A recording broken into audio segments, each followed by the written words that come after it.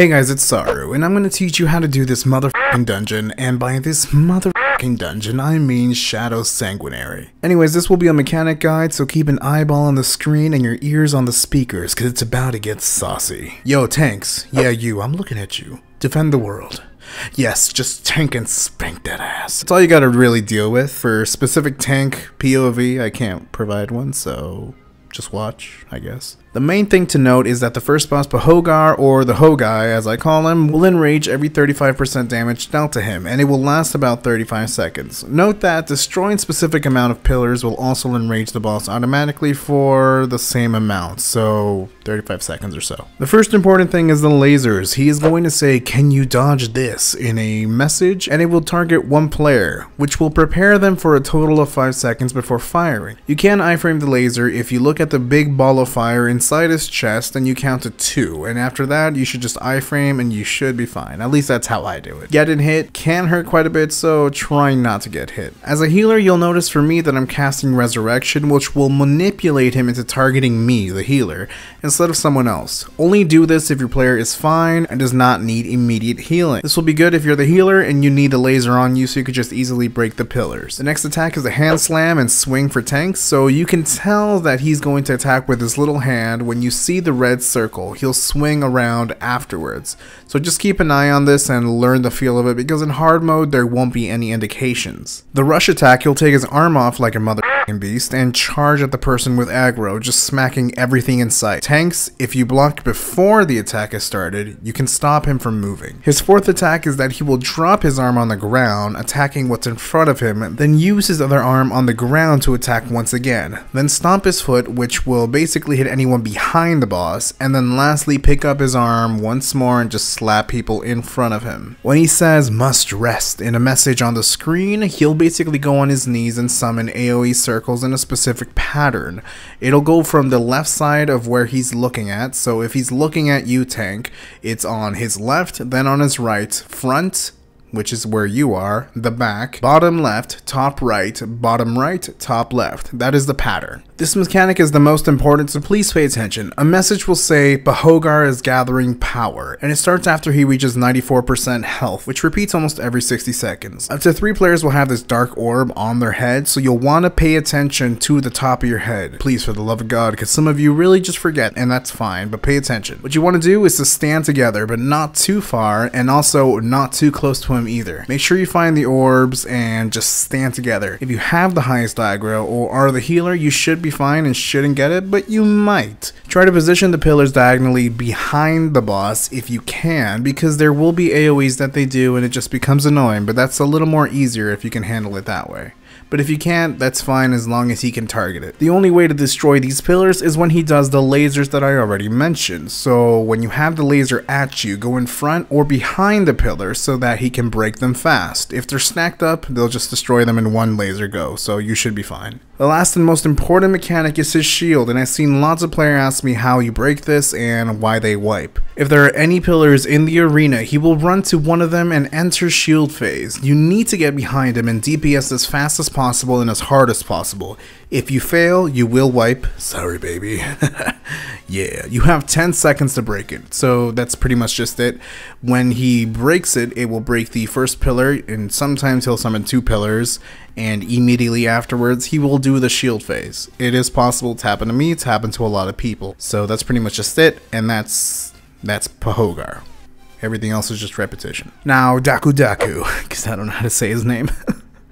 I'm sorry, is one of the easiest bosses really to handle, and it's mostly based on mechanics. First normal attack he does is an uppercut, so he'll kneel for a moment and then slap your bitch ass with an uppercut. It'll be in a straight line and it can't be blocked. You'll see an indication in normal mode, which basically will indicate you that he's about to do it and it's coming, so I mean just take that as an indication to get out of the way or you know whatever. Now when his bracelet starts rotating around his wrist he'll have his arm up and it'll just start rotating. You'll see these little things going around. It'll indicate that he's about to slap anyone behind him. So just look at his wrist. They are important. You won't get hit for much. And if you have a good healer you should be fine. I hope. The circle AoE, which is this big laser thing, will happen when he puts his weapon on the ground and raises his arm up. Just keep an eye out for that, and it does hurt a lot, so just try to avoid that. Now for the saucy mechanics. He'll do the pizza mechanic, which is what it shall now be called as. When it says in a message Dakurion, or Daku, I don't know how to say his name, is tapping the blood shards, he'll do this massive AoE. Look for the blue pizza slice and run to it as fast as possible. You cannot iframe this, so rip you if you try, and I've seen a lot of you try, or just take it because you think the healer is going to get to you. In normal mode, this will happen at 95, 75, 55, and 35%, so be on your toes because they will happen quite often and pretty fast sometimes. The second special mechanic is summoning mobs, which basically he'll spawn at 80, 60, and 40%. He'll shoot a laser up to 3 times at a random player, so just go to the mobs if you're targeted, which he will kill with his laser. Kinda similar to what Pahogar does with his laser to destroy the pillars. All of these bosses are kind of teaching you for the next boss, which is kind of fancy if you really think about it. So you can destroy the mobs with the laser, and also you can destroy the light bulbs, which I'll get to after this. For the DPS out there, while he's shooting small lasers, he'll have a temporary shield buff, so he's gonna take less damage. So don't worry about that. That that's normal. Now light bulb. He'll summon up to 4 balls in the room at 90, 70, 50, and 30% health. They'll rotate the room, so just basically avoid them. Or you could do as I said and use his laser to destroy them. Apparently it happens. It can happen, so that's a thing. Lastly is the most important special mechanic and it's the burn phase. When it says Dakurion is absorbing power from the blood shard on the screen, which happens automatically at 20% health, you have 20 seconds to burn down his HP to 10%, or basically you wipe. I know, exciting. That's the second boss. Now, Imperator, which is the last boss. So, the first set of normal attacks are just visual, and you'll have to be on your toes, as that's really the point of these last two bosses reflexes. So, there are three patterns he does to attacks. The first one is he swings his weapon down once and that's it. The second one is that he'll swing his weapon down, pause for a second, and after that he does a swing sweeping wave attack on either the left side or the right side, not really sure, it just happens randomly. It will knock you back if you get hit. The third pattern is that he will swing his weapon down either do a front or back slam, which will do heavy damage, and that can't be blocked. So just pay attention to his attacks, and once you get used to it, you'll basically rely on your reflexes. Some of the attacks he does is that he will twirl his weapon around and prepare to attack three times in a row. Some of the patterns are, when he's attacking, is left, right, and backwards, left, backwards, and right, right, backwards, and front, or right, left, and backwards.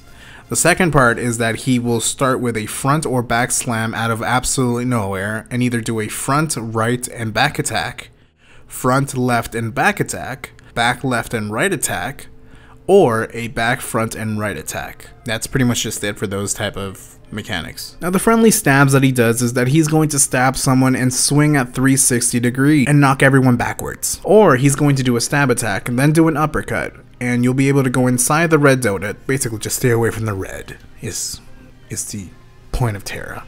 However, if you can't get inside the safe zone, you can iframe this, so if you can iframe it or try to iframe it, you'll be fine. Now is the double circle mechanic, and the person that's furthest from the boss will always get this mechanic always. The first AoE is this big red circle, which is whatever, it's standalone and you can just move out of it or use your non-iframe escape. The second one you will need to iframe right as the red circle fades. So just pay attention to the outline of the circle and if it fades, just just iframe out of it. Sometimes you'll target everyone with a circle and you'll need to iframe it. That's the only way to do it. If you're a healer, prepare to heal everybody. The last normal mechanic is that he will disappear behind the DPS group and try to flank. This isn't the tank's fault, it's just what he does, sadly. He's just a dick. Now, special mechanics. Here we go. At 60, 40, and 20%, he'll have a buff. He'll say Dakurion is gathering energy on the screen. His power and attack will increase per stack, so any previous mechanics you will need to do sooner and faster. At 70 and 50%, he'll trigger a shield phase. It'll basically say Dakurion has a new target on the screen. He'll go to the person with the highest aggro, and that person, which is usually the tank, needs to run away as fast and far as possible.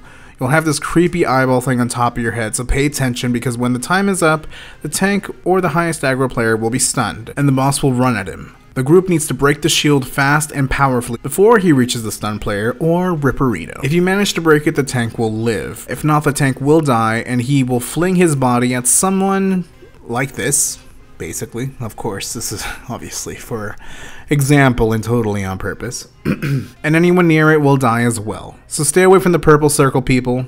They're frightening. Regardless of if you succeeded or failed, he will do the mechanic where everyone has circles anyways, so just be prepared to iframe. A special note for the priest out there is that once Decorion has a new target and the tank is running away, you should use Divine Intervention to get him further from the group. And that way it'll just be faster and players will have more of a chance to break the shield as fast as possible. Now, the Mighty Cage, at least that's what I call it, will start at 85% health, and he will say Decorion summons soldiers on the screen. Mobs will spawn around the room, so DPS will have to take them out as fast as possible.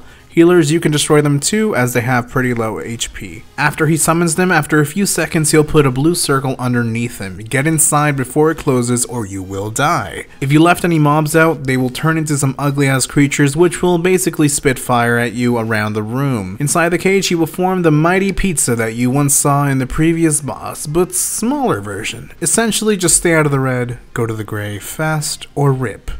For me, I don't trust anybody, so I use Kaia's shield as it happens. It should at least absorb one of the attacks. More mobs will spawn every time he does this, so just be prepared to fight more mobs as he does this mechanic more and more. When the boss goes under 75%, he will do a different variation of the blue cage. He will say Decorion is using the Blood Shard's power.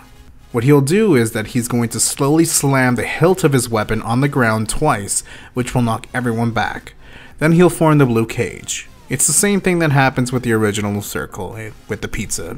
Just do the same thing. And that's that, guys. I hope that helped. I know a lot of players were asking me to make this guide, and so I try to do a lot of good research before failing like I did in the previous guides. But I think I nailed it this time. If there are any additional details you guys would like to add or that I missed, or if you have questions about this dungeon or any other one, just put in the comments below. Share this with your friends, lovers, family, or guildies. Unless they're all one and the same, then share it with them. And as always, till next time, friends.